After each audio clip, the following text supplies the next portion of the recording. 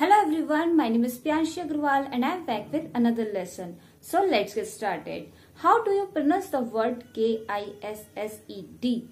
Well, a lot of you might pronounce it with KISD. The ending of the word sounds as do, but this is not a correct pronunciation. The correct pronunciation is KISD. Please repeat after me. It is not KISD. It is KISD. From next time on, keep that in mind. Thank you.